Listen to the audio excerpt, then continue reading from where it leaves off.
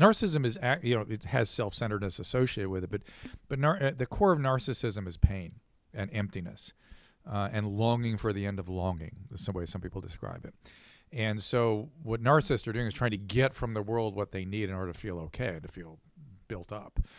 Uh, self preoccupation, you know, that has a lot of different antecedents associated with it. Not not the least of which is pain.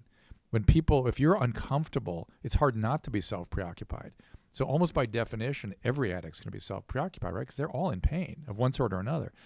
And so self preoccupation and self focus and all stuff, that's a symptom of the condition. Whether or not they also have narcissism, you know, the old cluster B personality constructs, narcissism, borderline sociopathy, all my patients fit those, those criteria when they came to treatment. I don't know how much of that was there before they became a drug addict. It's hard to tell.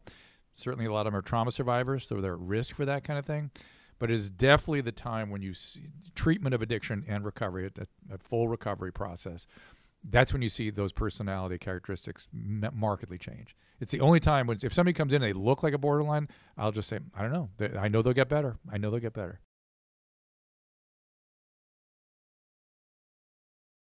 There, there's some genetic piece to it, but it, it's around it's a certain. th- There's a couple theories about where it comes from, but it's ultimately adverse childhood experience, right?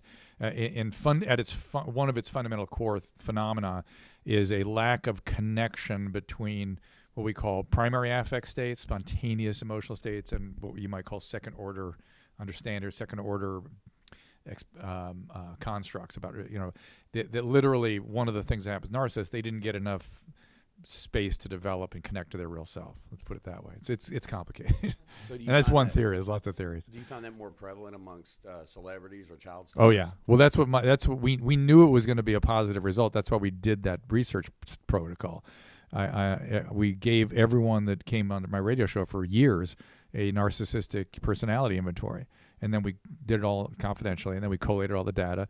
Lo and behold, lots more narcissism in uh, celebrities, and then we publish that data.